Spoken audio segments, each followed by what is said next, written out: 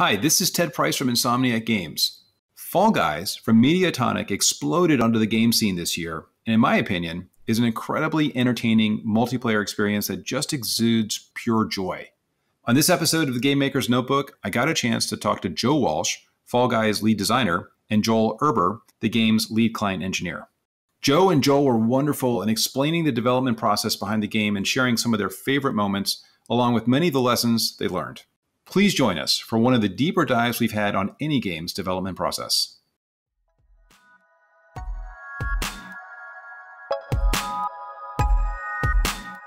Welcome to the Game Maker's Notebook, a podcast featuring a series of in depth one on one conversations between game makers providing a thoughtful, intimate perspective on the business and craft of interactive entertainment.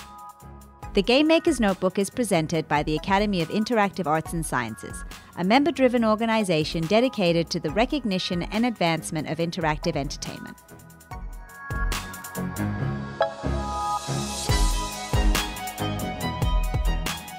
Joe, Joel, thank you so much for taking the time to come onto the podcast and and talk about Fall Guys and your experiences.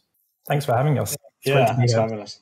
I, I will say that uh, I mean I like many many many others am a fan just because uh, I'm so used to playing games that are serious and and and ultra realistic and just having the opportunity to to relax a little bit, laugh, and and just be terrible at something, which I am at Fall Guys, is um is a lot of fun.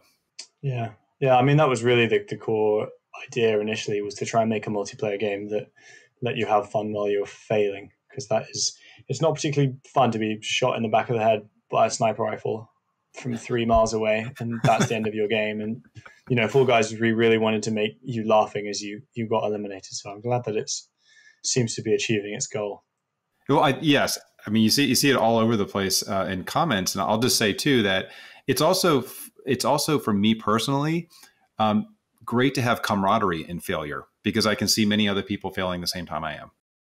Yeah, it's a really interesting one because right from the beginning, one of the core pillars of the game design was that failing should be fun, and it's really interesting now the game is in front of people, we're hearing that being like reciprocated back, and we're hearing that back in the feedback. So it's really nice to see that follow it all the way through development, all the way to the final product. Yeah.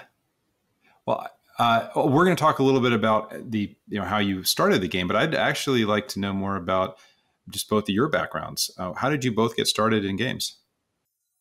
When I started out making sort of games for children, like working on projects with like uh, as an outsourcer for like Disney and Nickelodeon, and then uh, moved into making VR games. Um, made some games like sort of small independent games before moving to Mediatonic.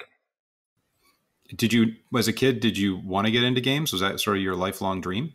I think my ambition hasn't really changed since I was a five year old. Like I think like growing up around the late nineties was like the golden era for a lot of video games. So as soon as like I was playing these, it's like I don't really know what I'm going to do, but I want to be involved in making games in some form.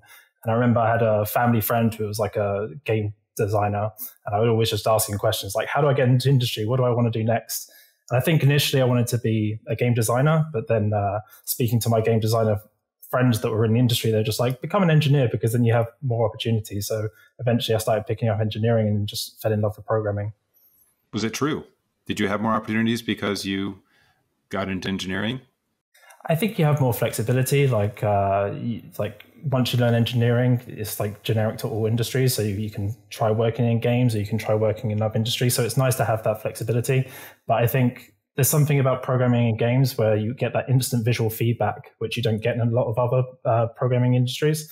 So I think that's one of the one of the reasons that makes programming in video games particularly like fascinating. Yeah. Joe, what about you? Yeah, I mean, I, initially was like really into um, like composing music. Like um, I've studied music and stuff, and I really wanted to compose soundtracks for video games. And so I did a game design course just to try and learn a little bit more about what it would take to um, get music into games. Like what's that what's that jump like? And then I increasingly found that I was better and more interested in better at and more interested in game design than I was actually making the music. Or the music I made was a little bit mediocre, I think. Um, and you know, went the route of doing some QA and did an internship at Mediatonic, and I'm just like slowly, uh, you know, um, hammered away at that until I got onto a position where I could pitch games internally and, and come up with ideas and stuff like that. And so Fall Guys kind of came out of an internal pitching sort of session that we had as a team, and the rest is sort of now history, I guess. That was about two and a half years ago where we had that initial pitch meeting. Wow, that's a pretty fast development cycle. Two and a half years for from a, just your pitch to the final game, right? Or yeah, yeah, it's it's it's definitely felt fast, considering the complexity of the game. I think we we really did turn it around. But one of the good things about Fall Guys is that that initial idea is very very close to what we ended up doing, and so we didn't have to spend months or even years figuring out what the game is that we were we were trying to make. Like we changed things and we made decisions, but really the core of the game is very very similar to that very first initial pitch doc that we sent around. Well, did you have a specific a sentence or an elevator pitch that you used to convince people that this is a great idea initially?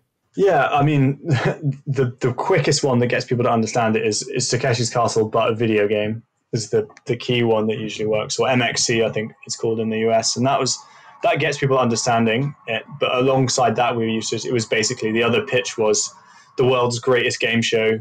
You know, uh, Gang Beasts physics meets Mario Party Battle Royale was another thing that we another line that we trotted out in interviews and initial pitch meetings, and it just it just resonated so well with people. They instantly get the concept. Did anybody on the team or people people you were trying to convince to support the game doubt that the game would be fun at first? I think generally people were really enthusiastic about the core concept. Like I think people instantly grasped this idea of like oh, I've never I've never done that before. I've never lined up on an obstacle course with 59 other people, and I think that core concept got really excited. But we did actually tweak a couple of bits of the design based on some of the feedback we got from uh, other publishers who we actually didn't end up signing the game with weirdly. But one thing that they mentioned so initially the premise of the game was that if you fell off of any obstacle, you would be eliminated, and so if you got knocked into the like like you do in the game now, if you get knocked in the slime, you get eliminated. But initially, it was like any obstacle course. Like imagine seesaw.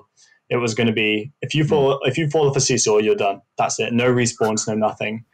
And initially, the game wasn't one winner. The idea was that you would reach the final round, and um, the people who made it through the final round would all share a portion of the pot at the end of the round. So it became like the closer you got to the end, the fewer people you would want to win. So it was almost like the weakest link or something like that. Um, we got feedback from people basically saying it sounds like your game's going to be really hard and that you're not going to have a good fun. You're not going to have a good time if you're bad at the game and it sounds too complicated. And so that was, we kind of took that feedback on board and, and changed it. And that's where we introduced the idea of like respawning and, and, and finding ways to make sure that even if you weren't very good at the game, you would have fun. And the big reference for that was like Mario Kart. So you can play Mario Kart with your friends and they can be like absolutely horrendous at the game the game is deliberately designed to make sure that they have a good time, right? Like they get all the best weapons if you're at the back, things like that. People come around and lap you, and you get to race again. You know, like those games are designed to be fun for everybody, and that was a bit of a turning point, I think, for the game where we realized that our initial design was a bit too hardcore and uh, only really catered to people who were really good at the game. I think that's pretty interesting that you talked about these things verbally before prototyping and actually accepted that they might not work. And I, uh, that's not always, I imagine, not always the case for development teams. I know for us, we we try to spend a lot of time in the game proving out things, but we also probably spend an inordinate amount of time arguing about what will be fun and what and what won't be fun before we ever try it. Um, were there certain mechanics in the game where that was the case, where you were just arguing incessantly about whether something would be fun?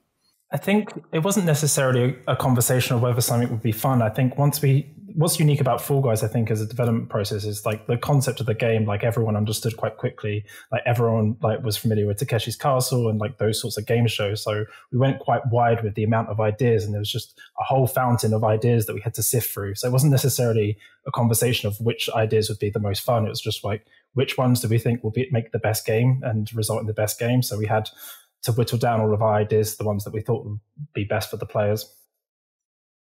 Yeah, totally. I think the rounds, especially, was like this real excitement of like, oh my god, we have so many good ideas, and it's just a matter of figuring figuring out which ones we do first. But there were some fairly tense conversations early on about whether we should have a sprint in the game. That was really contentious initially.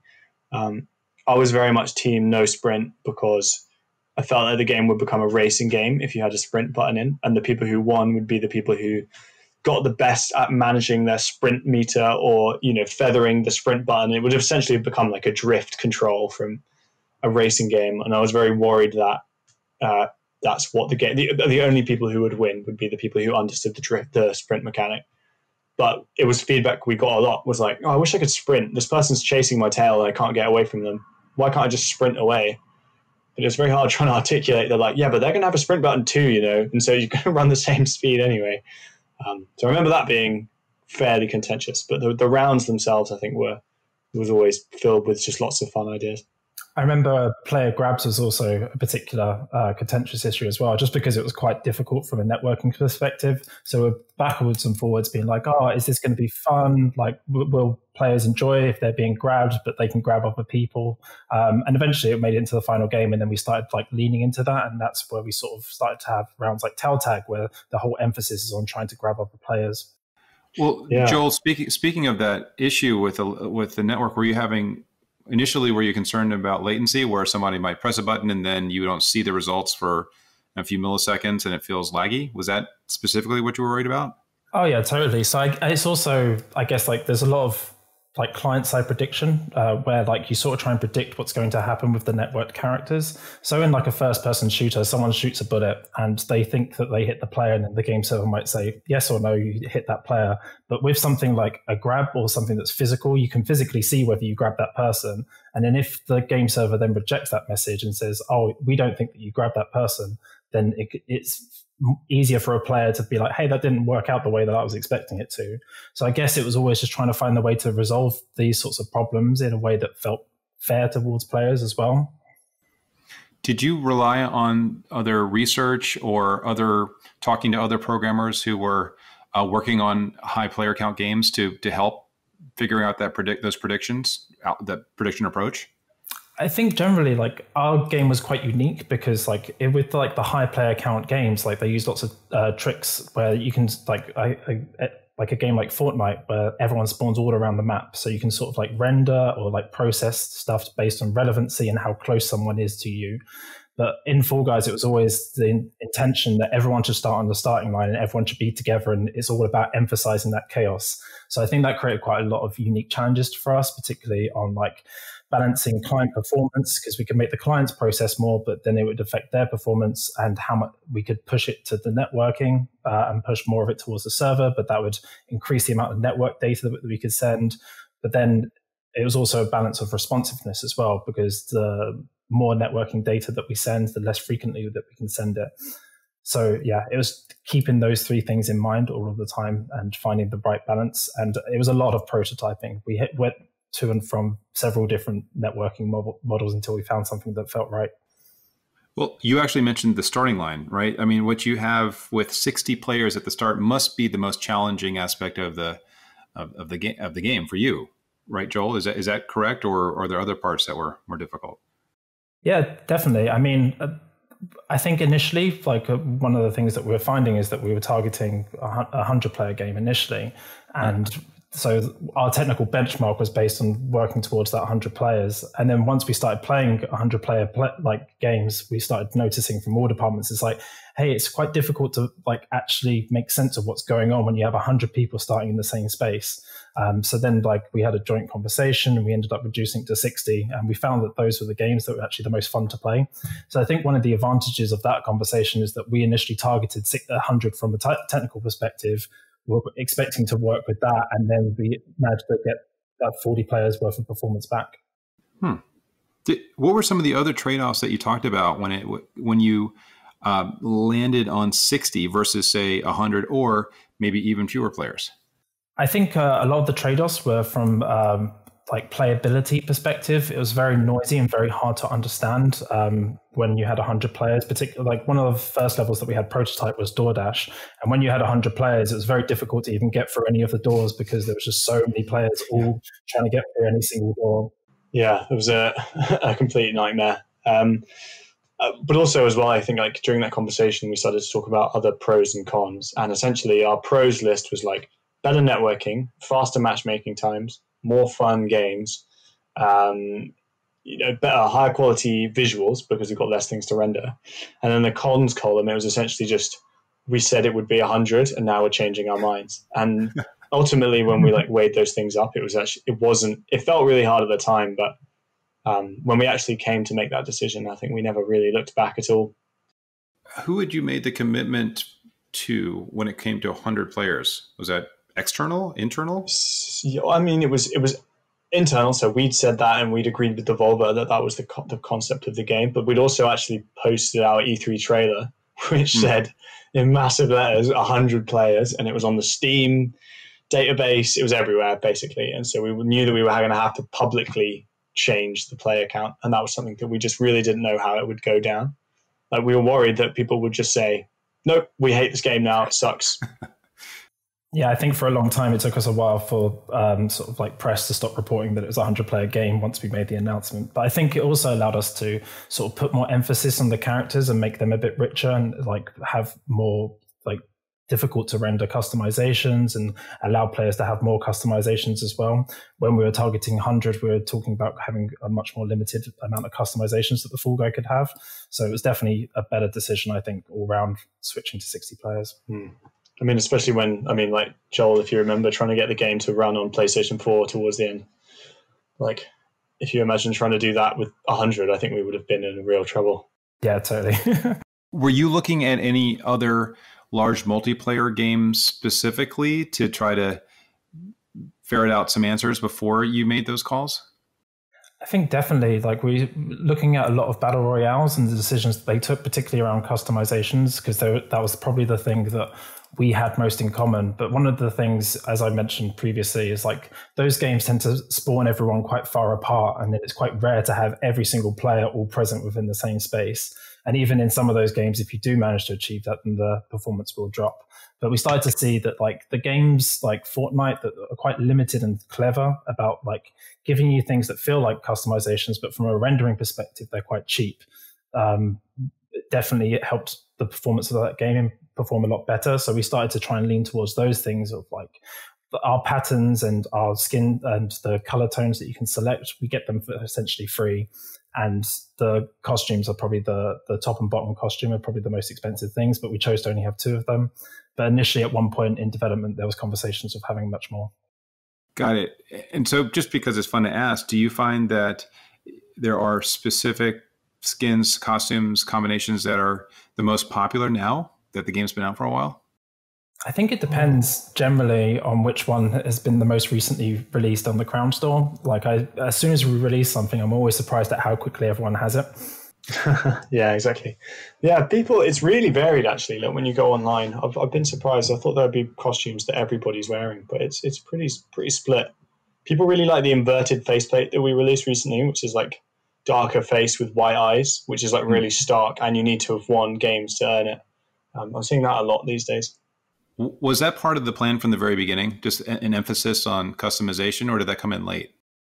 I think it was, there was always an emphasis on customization. Certainly, when I joined the project, it was one of the first things that I was looking at. Um, it's like, okay, here's all the customizations we want to support. How do how do we go about doing that? But I think one of the things that I was most surprised about on this project, particularly when we were sort of like a small project that no one had heard of, is all of the partners that we approached to sort of like come make costumes or can we feature their IP in their game were super responsive and pretty much all agreed unanimously without any any issues.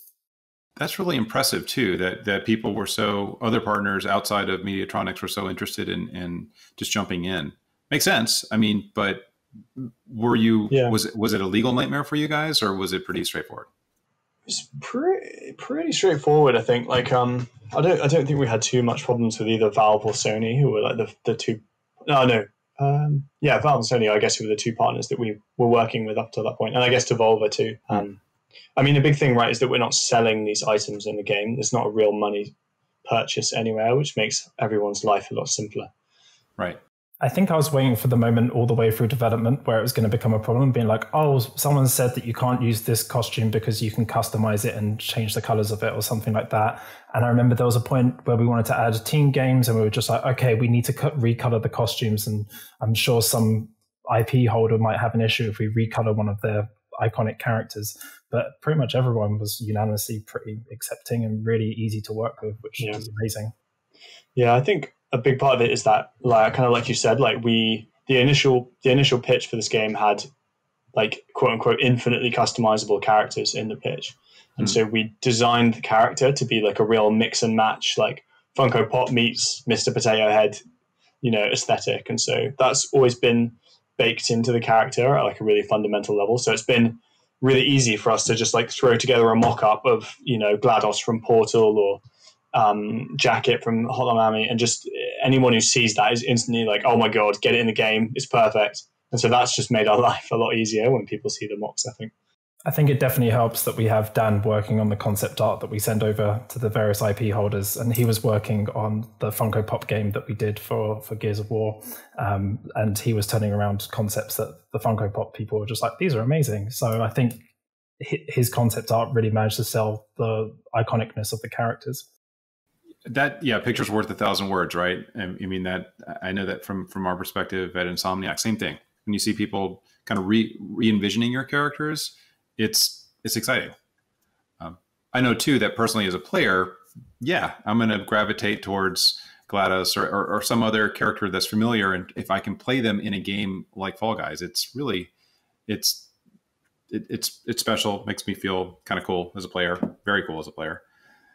Um, would do you as a as a company have favorites um, that you gravitate towards in the game Ooh, um, I quite like just combining things into be the most garish, hideous combination I possibly can. I think right now my character has like the pink owl with lime green underwear and the lime green faceplate as well, and it's just a mess of pink and fluorescent green. Which I, my strategy is just to try and like garishly freak out all the other players, so they don't really know what's going on, and then I steal the crown from underneath them.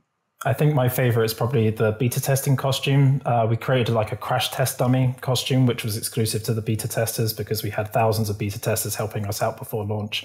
And we just wanted to reward them with something special. So we created this crash test dummy. But because it's so exclusive and no one really has it, whenever I wear it, I get accused of being a hacker by everyone that I'm playing with. well speaking of that though do you have developer specific costumes that nobody have We do have a pattern which has the Mediatonic logo, which we only award to people that are on the development team, but um, no one seems to notice that much when we actually wear it. that's great. Well you know you mentioned uh, the testing. Before you went to beta test how did you get how did you find 60 people to play your builds Good question. Um, so we've relied a lot on automated testing. Um, one of the things that we realized quite early on is that we had quite a small QA team as well, and it's very difficult for them to get reliable data. So initially, we started pro, uh, prototyping with bots, and we had bots that could play through the game, and that sort of gave us a good amount of data about like the performance and how things would render. But one of the things that we're really missing out on is measuring how the network traffic flowing into the server was going to affect performance.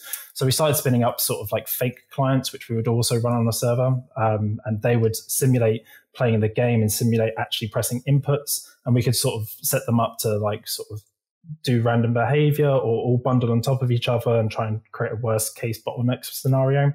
And that was super helpful for us identifying both server performance and client performance, and also helping QA fill out the lobbies and test what the qualification sy- system works like with the full player account. That sounds incredibly smart and useful. And if, given that there are probably other people listening who are wrestling with the same challenges, do you have any specific advice if people are going to be doing automated testing? Some things that you've learned from that process?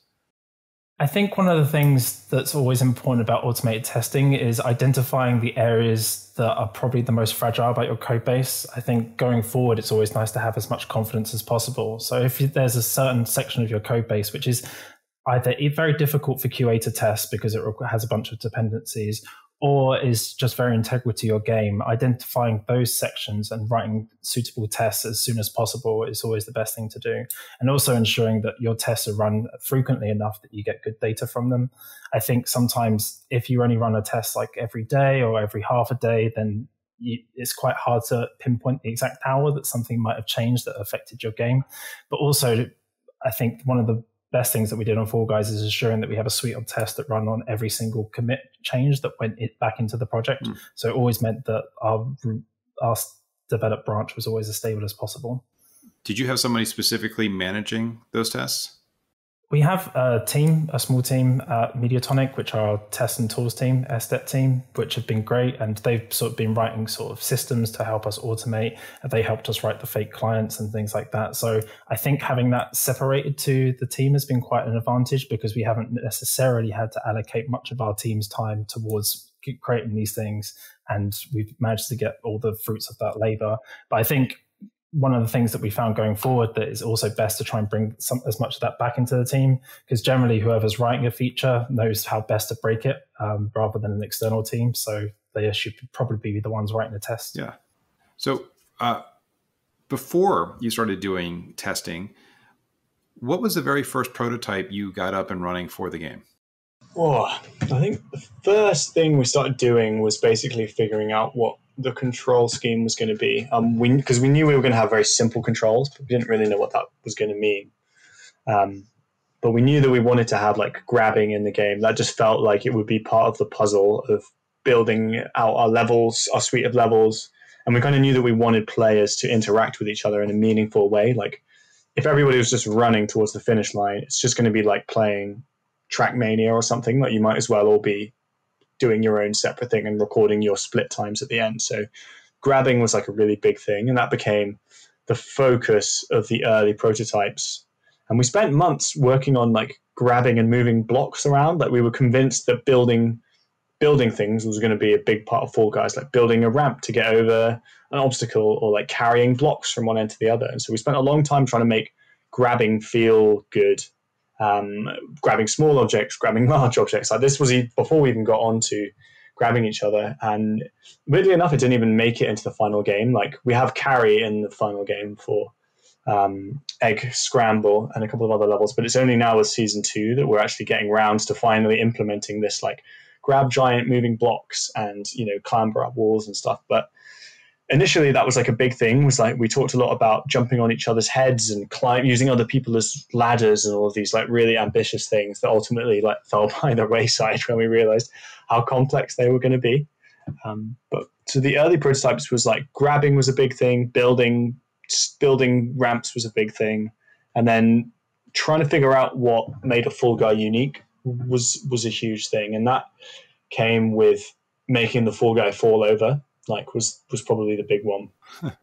um, we knew we wanted it to be like n- knocking each other over, right? Like we knew that was going to be. We thought it would be based on impact, and and then it became a big thing about figuring out like once you've fallen over, how do you get back up?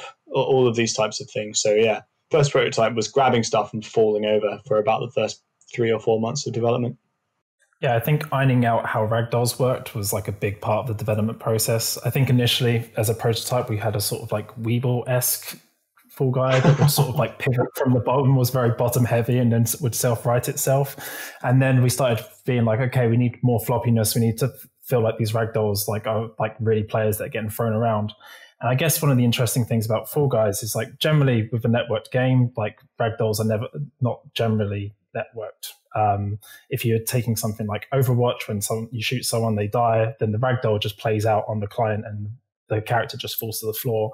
And initially, we tried to work within that same framework as well because networking all of the data for all of like the limbs and the joints and stuff like that would be quite expensive for 60 60 characters so we had to try and work on ways that we could send as little data as possible. So we initially tried to make it so we didn't send any data for the uh, for the ragdolls, but then it became quite apparent that the movement of the characters is also defined by the movement of their limbs. Like if someone's like limb gets caught on like the side of an object, then they're going to fall differently than if they're not simulating that ragdoll. So then we started having a lot of back and forwards about how we actually network a ragdoll uh, until we finally came up with the solution that we have in the final game. It sounds like you had to make a crazy number of decisions really early. So, what, what's your team process at Mediatonic for doing that? I think I think proving things out as soon as possible, and I think trying to fail quickly as well. So, like usually we'll gather people together. Um, we'll have like a pitch of like, here's the concept of what we want to achieve. Like Joe will also usually come with some ideas about like here's how I want it to feel, and here's some like videos that I've recorded of myself leaping around or something like that. and then we use those as references to trying to achieve a certain effect. Um, and then we prototype as frequently as possible until uh, we feel like we've got, got the right thing and create the right balance. Yeah. Yeah, I think that's that's pretty much it. I mean, I would say as well, like this ragdoll thing was not solved early in development. Like we were working on this until I guess what felt like the zero hour, trying to get everything and we went back to the drawing board probably like three or four times i think with with new versions because we'd it's, it's one of the hardest things right is you're working on something and you don't know is this thing a week from working? Is this thing a day from working? Is this thing never going to work? And so i think we went down a couple of rabbit holes on the on the ragdoll side before we really figured it out. But i think it was i mean it was definitely this year. It was probably like i don't know spring summer joel before we actually finally found the right solution I think it was like February, March. Yeah, like player grab was one thing that was like we were not we were working on it until like the very last moment. We weren't sure we were going to be able to find something that would like tick all the boxes. And also networking the ragdoll was also one of the big moments that once we found something, it's like okay, this is great. And I think we got close on several occasions using various different methods, but then like it would fall down at the last hurdle and it wouldn't like work when you got hit by a fast hammer or when you're jumping around or something like that, or it would just send way too much networking data that we couldn't actually process it on the server. Yeah, I think essentially like our, the process was basically looking at looking at the pain point and discussing whether or not we felt like that was vital to the success of the game. And so something like like I remember at one point when you grabbed someone, you could kind of throw them, like it was more of a chuck that you could do, and you know, looking at the network, it was like moving other people that fast was going to be a real issue. Mm. And we hmm. just basically had to sit down and like, realistically, is this actually going to, is this going to be the thing that makes or breaks the success of Fall Guys? And it felt to us like being able to chuck someone versus being able to grab someone and hold them and slightly move them. Is it is it worth you know five six months more iteration on this, or should we just cut our losses? And so that was an example of like it's quite easy when you frame things like that to make those decisions. Um, but then something like player grab was one where we were like, no, this has to be in the game. Like we should do basically everything we possibly can to get get some sort of player grab in the game because it's so fundamental to that core vision. Can you imagine if we still had the chucking mechanic where you could drag someone around and throw them around? That would be absolute carnage. Oh my god, yeah! I'm so glad we didn't do that in the end. Well, well, actually, that answers another question of mine, which was more about failed experiments, things that you tried, might have been fun, but you just had to get rid of them. And that sounds like a great example.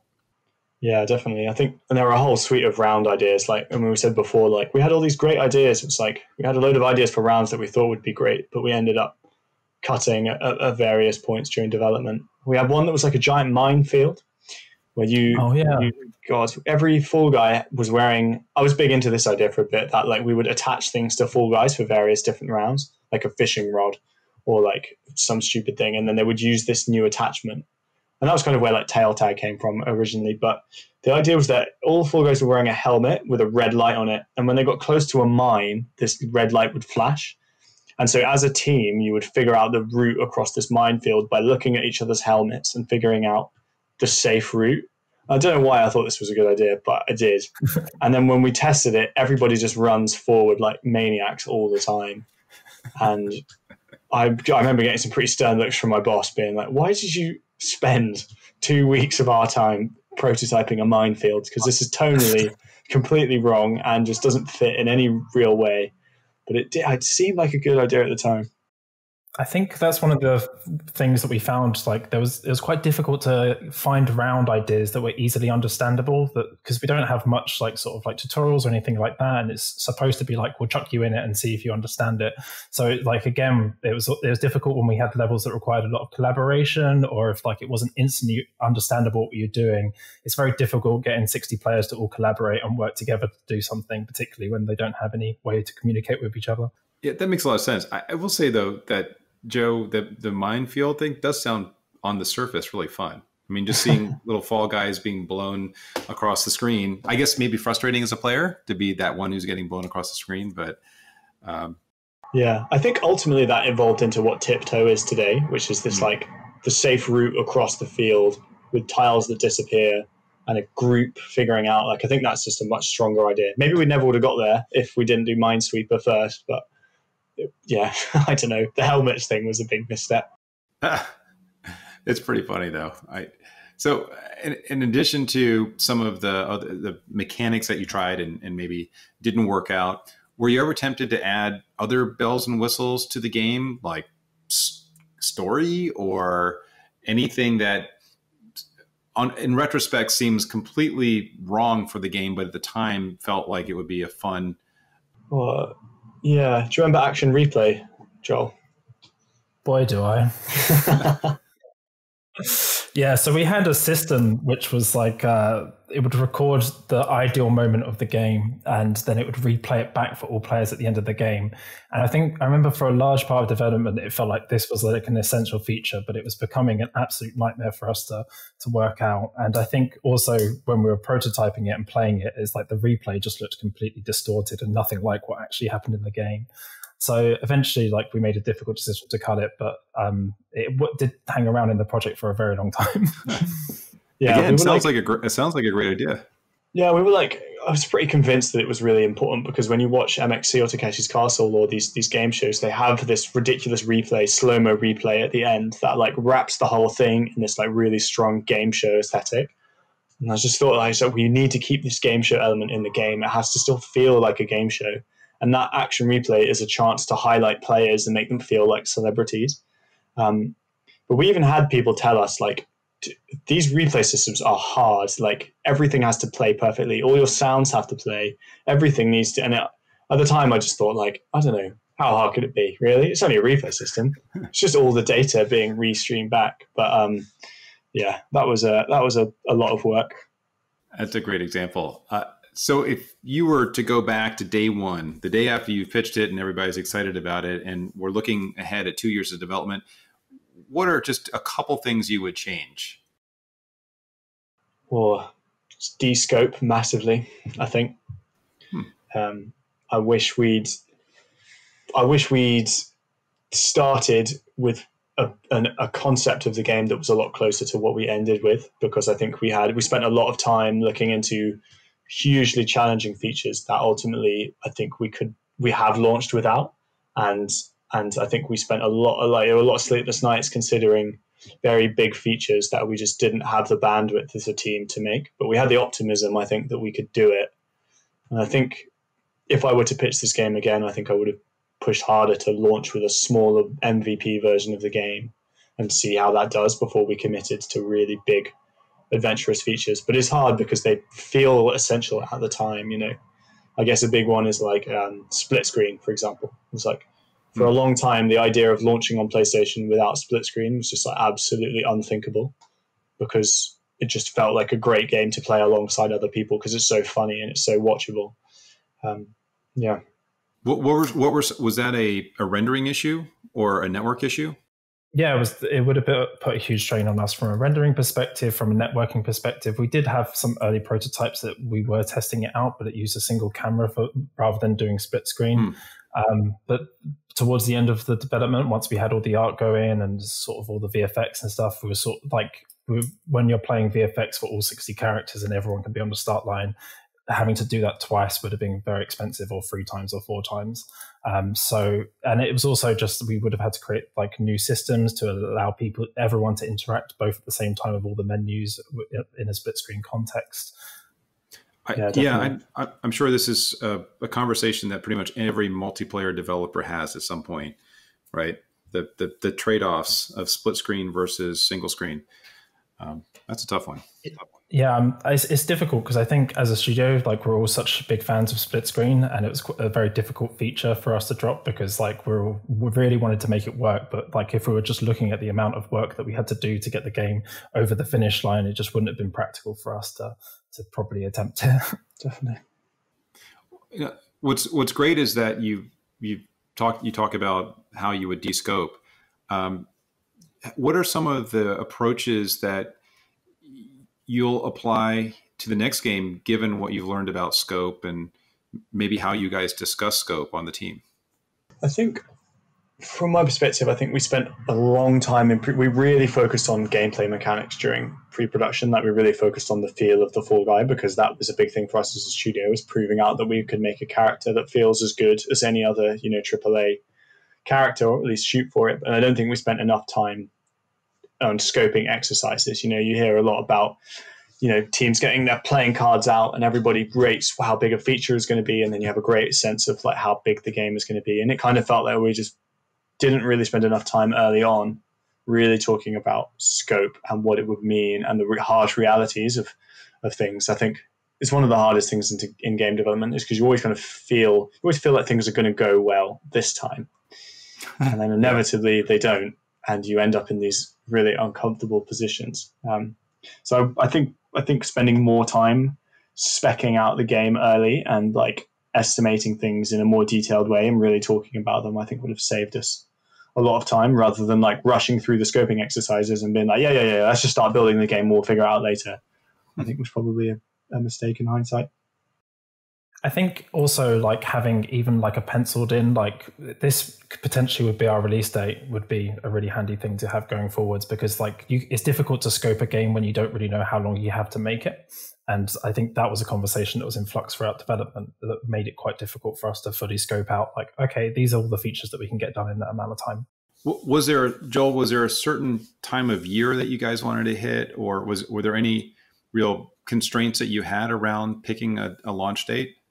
Um, I don't think that there was like a specific time of year that we were targeting, but I think it was just a conversation that was in flux depending on like uh, the, the budget of the game and things like that. Yeah speaking of the the industry at large, were there any other games that you viewed as direct competition and either existing or upcoming games that you were either looking at as uh, trying to stay away from or were uh, trying to differentiate yourselves from? I mean, you mentioned Gang Beasts earlier, which you know is is a lot different, but has a similar stylistic, humorous uh, uh look.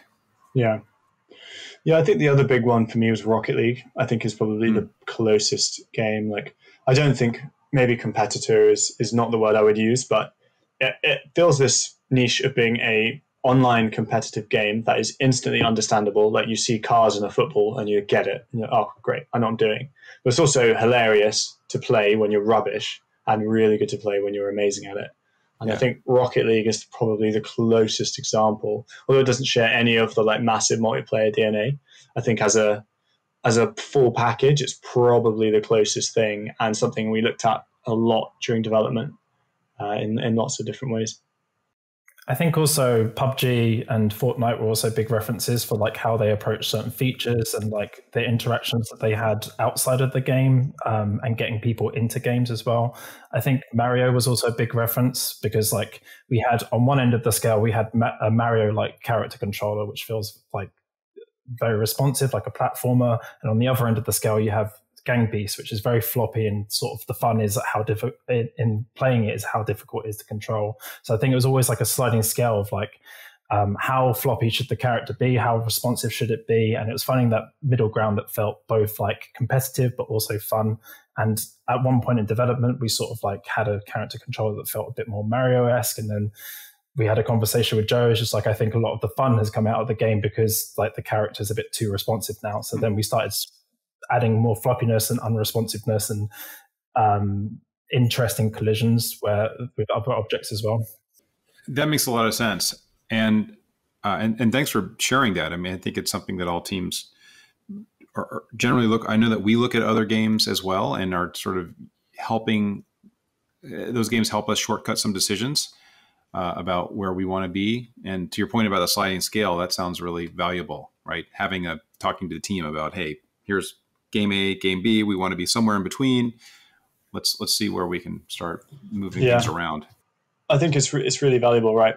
Um, because it essentially allows you to uh, unify the team because you can basically go around everyone on the team and be like, on a scale of Gang Beast to Mario, what do you think Fall Guys should be? And then you can collate all of those responses and you can get a sense of how aligned the team is.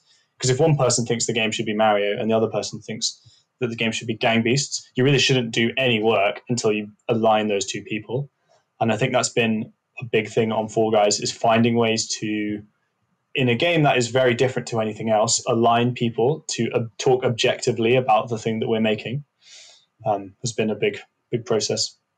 Yeah, it's really important to have those reference points. But I think one of the things about Fall Guys is that there hadn't really been a game that did sort of like mass multiplayer ragdoll physics esque like gang BC sort of style gameplay. So there wasn't necessarily a blueprint of like, here's how you do this sort of game and here's how you solve those sort of networking concerns. So a lot of the time it did really feel like we were sort of trying to work things out as we are going along and trying to work out how we could push the performance and push the networking and write our own networking system to get everything working smoothly. Got it. Makes sense. Well, I, I could ask you questions all day about the, the sort of the mechanics and, and the decisions you went through, but um, I do want to get your perspective on the industry in general. So, when you think about where the our industry is headed as of today, what gets you most excited? Well, I think personally, I am quite excited by VR, especially. I think like I'm I'm probably going to pull the trigger on a Quest 2 pretty soon. As being someone who's not bought VR at all, I think seeing Valve jump on jump on that train and make Half Life Alyx has been really exciting to see people mm. lean into that space. Um, it still feels like there are so few games which people will play for longer than 45 minutes ever. But I think it's going to be really interesting as the tech grows to see people lean into that space more and more. I think from my perspective, it's just the ability to try and tell richer stories. I find it really interesting the way that sort of games are just getting more ambitious with the themes that they're trying to approach. Like if you compare like what God of War was doing 10 years ago to compare to what God of War did in 2018, it feels like there's a vast step up in the sort of themes and maturity of the story content. And I'm sort of excited to see how games mature and sort of become on par with film and start advancing the narratives a bit better. Me too. Totally agree with that. Uh, do you think that the industry needs to change or evolve any any way, uh, any specific way, or do you think uh, we should keep rolling the way we do, which is, at least in my opinion, a little bit chaotic? I think there's definitely some room for more inclusivity. I think diversity across the board is something that could be improved, and the more diverse voices that you have contributing to game design, the more different stories that you're going to get out the other side. Joe, what about you? Yeah, I mean, I was going to go, talk in a completely different way, but for me, it's just like I still feel like people haven't really figured out how to make games efficiently or in a sensible way yet. It's just chaos, and the amount of stories you see coming out with every single AAA game about you know the insane hours that people are doing. It's just still feels like we have a long way to go as an industry for figuring out how to do these things in a sensible sustainable way because I think Fall Guys for me is like the first time I've been on something that's a huge success and that process is exhausting of, of, of, of, trying to hit that deadline and trying to get that game out. And we've been pretty good as a studio up until this point, but I just it just feels like when you see all these horror stories come out from other studios that we we need to solve that if we want this thing to be a, a long term career for people. Yeah, I think it's about making things sustainable because I think like we sort of invest more money and more time and like you have like your AAA games that are made with like so many hours, but then like the expectation is always growing of like how long is a single player game, how much content should be in a free to play game. So I think as those expectations keep growing, so do the like the budgets and studios. And I think as an industry, we could probably improve in putting more focus on sort of like people's personal lives and like work life balance and ensuring that people can stay in the industry for a significant amount of time. I think also as an industry, we put a lot of focus on uh, success stories of people that are quite young, but not necessarily enough success stories of how long has someone been in the industry and still managed to have a sustainable career as well. Yeah, that's an excellent point. Uh, well, so when it comes to things that we could do to say manage expectations uh, do you have some specific ideas? And I, I, shouldn't say manage expectations like to, to you talked about a couple things. One we have incre- constantly increasing expectations and i'm guess you all are referencing player expectations. And then we have the importance of sustain, sustainability within our industry and making sure that people actually have work-life balance. So first really are the expectations being driven exclusively by players and then second, what are some things that we can do to to make this industry more sustainable? I think it's interesting this year because it feels like some of the big success stories coming out this year are from much smaller games. Um, like Among Us is something that mm-hmm. comes to mind when I say when I say that, and potentially Fall Guys you could include in that as well. Mm-hmm. So I think the it's not necessarily about player expectations because I think players can be wowed by something that's like simplistic but feels fresh to them. I think it's just um, that growing need to always have something that's bigger and better, and that's usually pushed by the AAA side of things. I would say. Yeah, I think one thing that I'd, I'd like to see more of, and I think that we've been trying to do, is to put a face on game development and to make sure that the people behind the games are seen and that the stresses of game development are understood by the players. Like, I think more dev diaries, more blog posts from people, more open communication from studios, I think really helps people understand why things are taking longer or why things need to be delayed when they are. And I think I would like to see more of that. I think We've seen it personally. Like you get messages online from Fall Guys fans who are very passionate, saying, you know, why is this? It's a joke that this hasn't been fixed. It's been two weeks and you've not fixed it, and it's and it's pathetic. And it only really takes like me to go on and be like, hey, we know this needs to be done, and we're trying. And those people instantly kind of like soften up and and are suddenly like much more understanding about the, the stresses and the pressures of game development. So I'd like to see more of that essentially it's been really interesting working with Oliver as well because usually as a game development studio, like if something's going wrong or like you're trying to work on something, you tend to close off and try and fix the issue. And Oliver's always been like an advocate for being like, no, let's try and communicate more and explain the issues and people will be more forgiving. And in our case, we've definitely seen that. Hmm. Do you ever think about uh, changing the development process to be even more open along the way from start to finish? I think it depends because I think to a certain extent there's also a pressure to be first and to have an original idea come to market. So I think if you're too open, sometimes other people can get there first. But I do think that being more open about like the struggles that you're having and sort of like the team development, and also I think game studios being more open with each other about like here's how we do things and here's what's succeeded for us because it feels like a lot of that knowledge is sort of contained within a single studio and they learn and evolve. But it'd be great beyond conferences if there was more sharing between game development studios.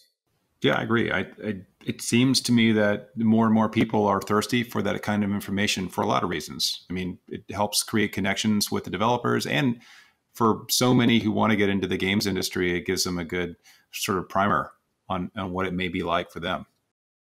So, just thinking again ahead, if you had to make one crazy prediction about our industry, uh, anything that might happen in the next five to 10 years, what would it be? Just one. Hmm. No consoles? yeah. No, is it, did you say no consoles? Potentially. Okay. I was surprised that there was a new generation of consoles coming out, I have to say. Yeah. I think in 10 years, nobody will be buying, nobody will be playing physical games anymore. Everyone will be streaming everything. It feels like I, there's no reason why eventually a Stadia like thing will just totally dominate the gaming market. Like that that Stadia will be awful until it's not, and then it will be all anybody ever uses. Um, and I'm, it worries me because I still don't know. I, I, I, don't think anyone has really solved the issues around pricing and about what it means to be a mid-sized game developer who suddenly gets paid per hour of play. You know, I think there are huge questions around what that means and how we avoid you know the gutting of the industry in the way that you've seen with like the revenues of Spotify absolutely tanking. Like, that's pretty worrying. Um, yeah. But I, I, do feel like at some point we'll stream all our games and then we'll look back and wonder why anybody ever put a CD into anything. I think for me, it's getting to the point where games are accepted into like wider society. I think that it's, there still feels like games are quite niche, even though everyone's sort of playing them. I feel like we're going to reach a point where there's a younger generation that's always growing up playing games, and as they're getting older, we're soon going to get to a point where like games are sort of seen, hopefully, in the same way that film is in modern society. I think you're exactly right, and I, we're we're pretty darn close to that. Um, with, I'd say within the, within a generation of that. And I think that's exciting. And I'm just wondering what sort of experiences and how that's going to change the sort of games that are being made as well. Well, you did mention earlier uh, how we should have potentially more stories and uh, exposure for those who have been in the industry for a long time. And, and maybe uh, as our audience ages too, we'll see a, just a new sort of approach to games for those who have been playing all their lives and are now in their 50s, 60s, and 70s and are looking for something a little different. Yeah, I mean it's great. I mean you can even see it in the generation of like junior game developers that are coming up now. Like they are very different to the generation that I was studying in, and it's nice to see that that evolution is happening and that more voices and like more diverse candidates are applying to become part of the games industry. Yeah. Well, guys, this has been fantastic. And if people have more questions for you, and assuming they're not complaining about the next patch um, to Joe, how can they reach you? Uh, if you just at me on Twitter, I'm at gosujoe, G O S U J O E. Um, yeah, come message me on there, and I'm always happy to chat. Yeah, and I'm Mad Hot Dog. Every time I say it. it's what a great name. Well, Joe, Joel, thank you so much for taking the time and for going into a lot of depth uh, about what you guys have done to create I what in my opinion is one of the most entertaining games I have played. It is it is so much fun. So and congratulations on its success. Thank you very much. It's um, been a pleasure to talk to you. Yeah, cheers.